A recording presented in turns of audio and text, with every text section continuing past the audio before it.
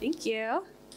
Um, my name is Sarah Kate. I'm a PhD student in the United States. This is my second year at CSV Conf. I went to the um, version 4 in Portland in 2019. That's me. Whoa. Sorry about that. Um, that's me with the Comma Llama. Um, I am a PhD student studying cell biology. Um, so as a cell biologist, my talk is going to be a little bit different than a lot of the other CSV talks. Um, I am going to show you data, but it's data I got from the lab, not from mining or coding. Um, but I think there's a lot of overlap between the type of projects I do and the type of projects you do. Um, and I'm hoping my talk will have some lessons that are common to all scientists working with all types of data. Um, what I'm hoping you're going to get away from my talk, I'm going to cheat and tell you the moral of the story in the beginning. Um, I hope you're going to learn that um, there's a lot you can do with a really small amount of data as long as you're very careful about it. Um, and when the data doesn't go well, it's okay to pivot even when that feels really scary. Um, and finally, that scientific stories are never over and things can come back in really unexpected ways. So the title of my talk is about childhood dementia. I know that's a really provocative, scary sounding phrase, but it is a real disease. Um, the actual name of the disease is Niemann-Pick disease type C, um, or just NPC as it's abbreviated. It mostly affects children and young adults, but you can get presentation at any age. Um, in very young children, this looks like failure to meet developmental milestones. Um, as you get older, this can look like behavioral problems, um, and then it does evolve into a very dementia-like phenotype where you forget things, there's cognitive decline. Um, something I really want to emphasize about NPC is just how rare it is. Um, in the entire United States, there's about 960 patients. If we extrapolate based on population data, We'd expect about 130 patients in Argentina. This is a very, very small number, and not all of these patients even are diagnosed or coming into contact with clinicians. So the actual number of patients and of, I guess, data points that we have for this disease is really, really small. And this can make answering even very simple questions very challenging. So a question you might have is, what is the average life expectancy of an NPC patient? And I apologize because I think my colors aren't totally coming through.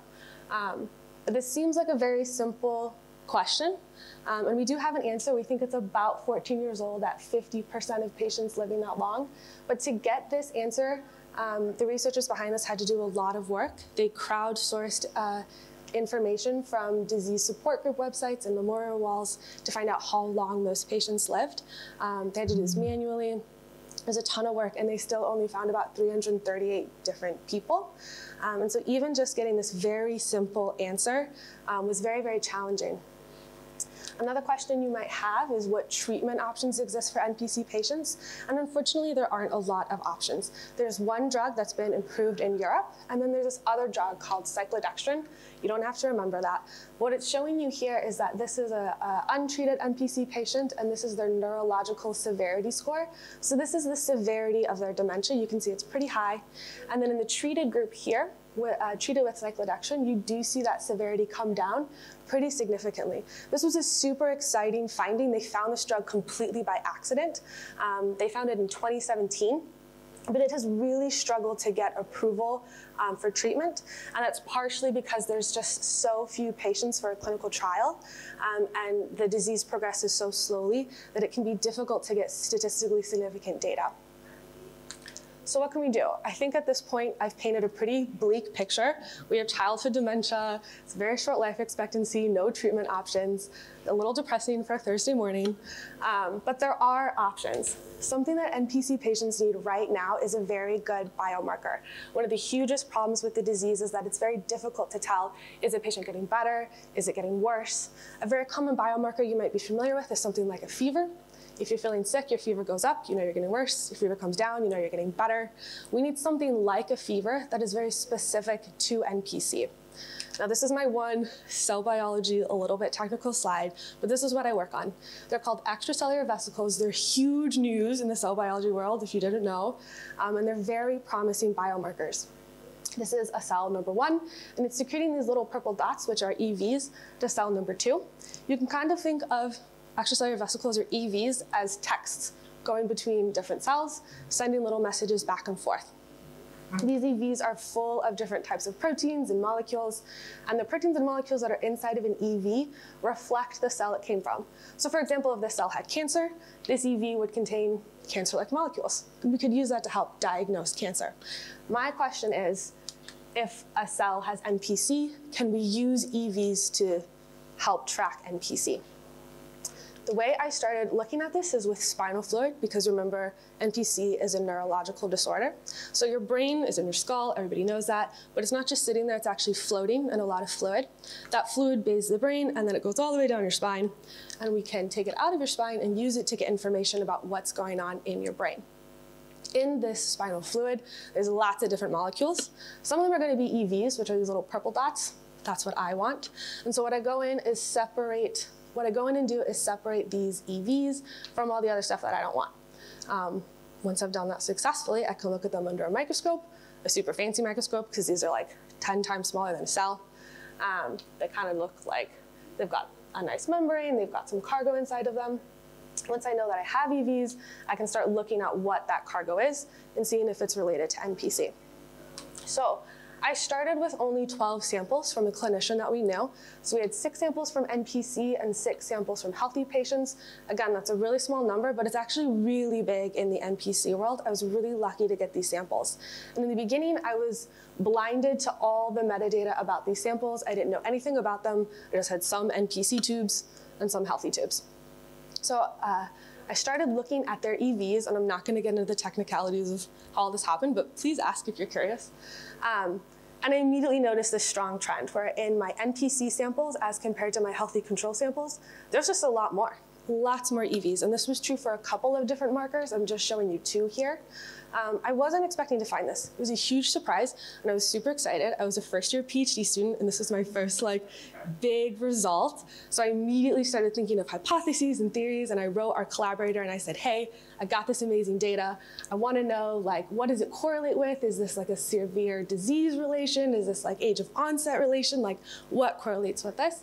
So she sent me back the data. Now I have all this information. I realized my cohorts were not very well matched oh well. Um, I started trying to run correlations and see like, does disease severity affect EVs? Does age of onset affect EVs? The only thing that was statistically significant, unfortunately for me, was age. What I learned was that the younger my patients were, the more EVs they had. And this was a massive problem because I don't have young controls. Healthy young kids do not give spinal fluid up, they just don't.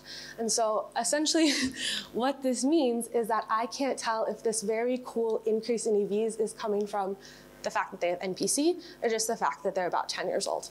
There's no way to know. So at this point, I was pretty devastated. Again, first year PhD student, very sad about things. I didn't really know what to do. Um, so I thought to myself, okay, you want to be a cell biologist. What would a cell biologist do? Probably look at cells.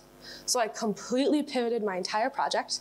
I started working with skin fibroblasts. So this just comes from a skin biopsy. They're pretty easy to get. They're pretty easy to grow. Um, they make tons and tons of EVs, so a little bit easier than working with spinal fluid even. And what I wanted to know is can I replicate this trend in my cell model?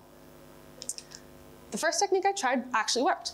This replicated really well. But by now, I was a wise, bitter, cynical scientist, and so I didn't really believe this. I thought, okay, I'm gonna try another way. So I tried a different technique, a little bit harder way to count EVs, and Still saw the same trend, but I'm still not buying it because I'm still really cynical. So then I came up with the hardest possible technique that you can do, also the most accurate. That's why there's no stats on this because I've only done it twice because it's a very difficult experiment. Um, but again, I see the exact same trend. And now I'm ecstatic. I have the exact same pattern as CSF. Everything is looking really good. Caveat being that this took me two years to go from this to this because switching models and ideas just takes a long time. Um, and you might be wondering, like, you know, in the beginning you told us all about how this is the brain and we need a biomarker, but now you're in cells, like, is this even useful anymore? I had the same question. So I looked at the molecules that are inside my EVs, this part, and what I actually found is that there's a lot of overlap between what's in my cell EVs and what's in my spinal fluid EVs. So it's totally possible that we could use the data that I get from cells to help inform our next steps for spinal fluid. So that is the entirety of my talk. Just going back to what I mentioned in the beginning, um, this project started with a really small amount of data, only six patient samples, um, but I still managed to get a lot out of that. Uh, when my CSF data turned out to be kind of questionable, it was very challenging and difficult for me to totally pivot my ideas, but I managed to do that and actually worked out pretty well. Um, and then this is my last kind of nice little cheesy note. Um, even though I sort of gave up on my increases in EVs story, um, it actually did come back to me in the end and was true in my second model system. So sometimes when you think you might have to give up on a scientific story, um, you might just have to persevere a little bit longer, like maybe two years. Um, also, if anyone in the audience is about 20 years old and wants to donate spinal fluid, I am still looking for that. So thank you.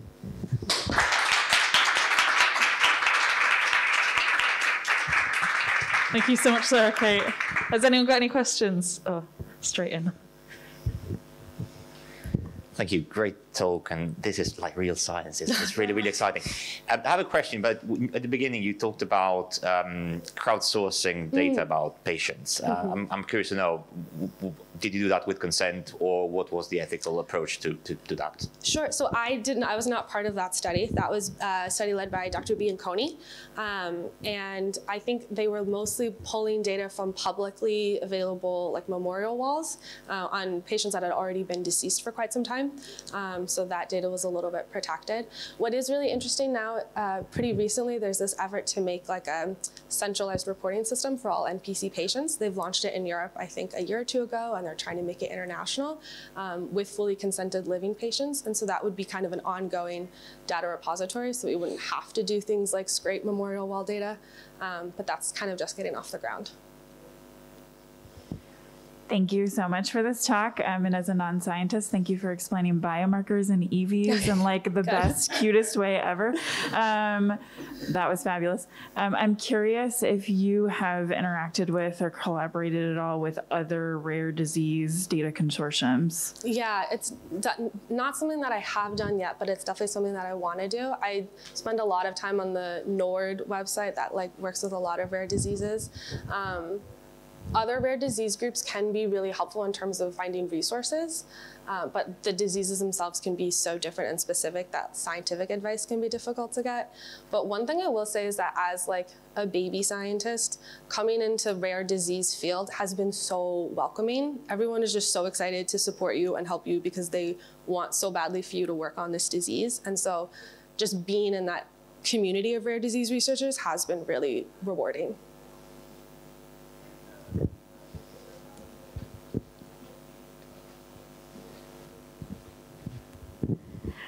Thanks for your talk. That was really, really interesting. Um, so, what's what's your what are your next steps going oh, forward? great question. Um, uh, I like so many ideas. My my big thought is um, why are there more EVs from this disease? And I think there's two possibilities: either more EVs get made, or less EVs get taken up, and so they're more circulating. So I'm basically testing those two different hypotheses in a variety of extremely slow ways that might take more than two years, um, but we'll get there, yeah.